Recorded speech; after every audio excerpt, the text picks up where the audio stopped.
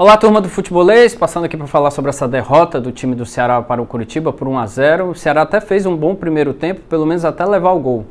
As mudanças feitas pelo Lúcio Gonzalez com a zaga que teve que ser readaptada, ainda mais com o Messias que se machucou durante a partida e a entrada do Marcos Vitor, o time sofreu bastante com isso. Mas foi um primeiro tempo até levar esse gol que o time conseguiu jogar bem criou algumas oportunidades com e sempre atuando pelo lado direito. Mas deu para perceber claramente que o time tem uma deficiência enorme no setor de ataque. Não é à toa que o time do Ceará tem apenas 26 gols marcados em 28 partidas. Isso só mostra como o time tem essa dificuldade. Alguns jogadores que eram para estar tá rendendo não estão rendendo. Hoje contra o Curitiba foi claramente, né? Você tem um Lima que até tem um esforço maior. Eu acredito que não falta empenho desses jogadores do setor ofensivo. Lima corre bastante, o Vina, a Mendonça mas não foram bem hoje. Tecnicamente falharam bastante, pouco produziram, apareciam, mas não sabiam realmente o que fazer. O jogo, para mim, é que é o destaque, assim, o destaque entre aspas, né? o menos ruim de todos. O jogo aparecia, quando a bola chegava nele, ele criava alguma coisa, ganhou todas por cima, mas faltava colocar uma finalização para dentro. E o time não conseguia chegar no ataque da, da equipe do, do Coritiba. O time tinha um, um estilo de jogo em que o Guto recuou a equipe do Coritiba e o Ceará pressionava, mas não sabia como penetrar na defesa do Coritiba. E aí o Coritiba, jogando estilo Guto Ferreira, que todo mundo sabe, aquele 4-2-3-1 com o Fabrício lá na frente, jogava atrás, recuando, esperando apenas um erro do Ceará, que saía, saía com a bola e acabava errando.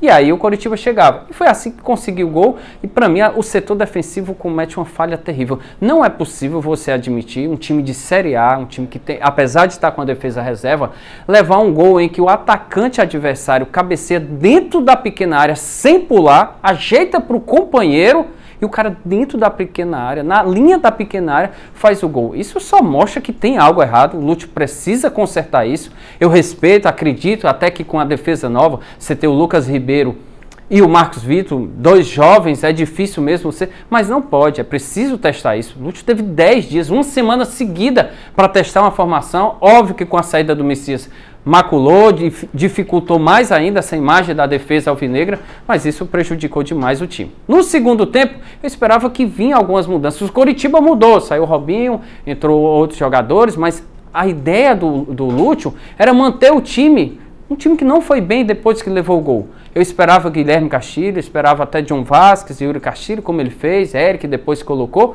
mas eu esperava também Diego Rigonato, que vinha bem, que demonstra ter sido um jogador que quando entrou fez alguma diferença. Mas o Ceará, naquele estilo de que tem uma deficiência não somente no ataque, mas no meio. O meio falhou bastante, faltou criatividade. Na única oportunidade boa mesmo, Vina voltou um pouco para recuar, para jogar um pouco mais no meio acertou uma bela bola pro show, que aí, e aí mostra a qualidade do show, né? Fosse qualquer outro jogador, segurava a bola no peito, tentava o gol, mas ele ajeita pro Mendonça que chuta e faz uma bela defesa do Gabriel. O jogo, aí, infelizmente, estava impedido. Mas só mostrou que o time tinha condições de jogar dessa forma. Aí faz um gol, obviamente, um gol muito discutido, uma polêmica muito grande. Para mim tem até empurrão em cima de jogador do Ceará. Poderia ter marcado o pênalti que for, mas o árbitro viu e realmente estava um pouco à frente o Marcos Vitor.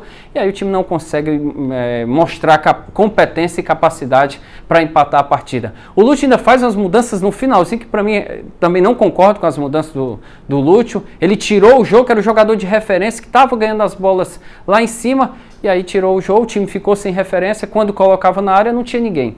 E aí só mostra que realmente o Ceará não fez uma boa partida e precisa corrigir muita coisa, principalmente no setor ofensivo. Acho que o Ceará tem um defici uma deficiência enorme e alguns jogadores que a gente sempre considerava que fariam a diferença, como Vina e Mendonça, não estão jogando bem. Agora tem uma pedreira pela frente, que é o América Mineiro, isso vai ser contado, porque agora, com, na beira da zona de rebaixamento, a três pontos do Havaí, está em 16, é o primeiro à frente, você precisar vencer o América, que vem numa crescente, no Castelão, 3 horas da tarde, vai ser um desafio enorme e para provar se realmente esse elenco tem competência, assim como a comissão técnica.